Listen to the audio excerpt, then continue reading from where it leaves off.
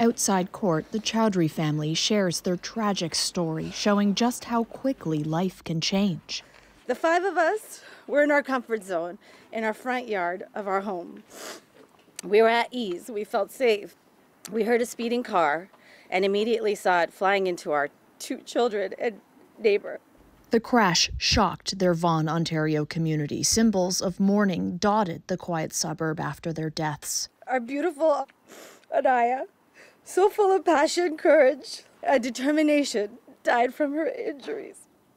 Our little loving, spunky four year old Jax also lost his life due to his injuries.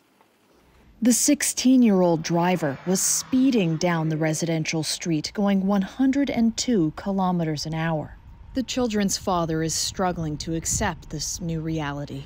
I have to accept the devastation on my family, and I have to accept the laws that protect the guilty. The now 17 year old driver has been sentenced to one year in open custody, followed by six months of community supervision and a six year driving ban. In court, the judge said he seemed remorseful. This is not a light sentence. This young man's going into custody.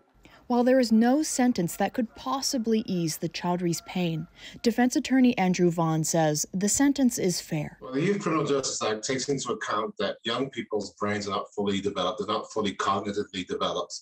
And so we, you know, as much as we want to hold them responsible, we, and, it, I think the sentence does that.